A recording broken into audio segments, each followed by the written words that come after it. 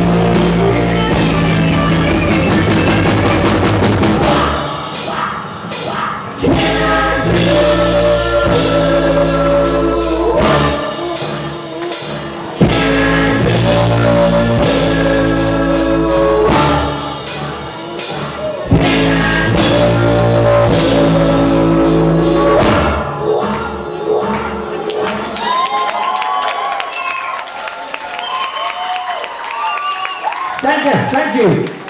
Sativa.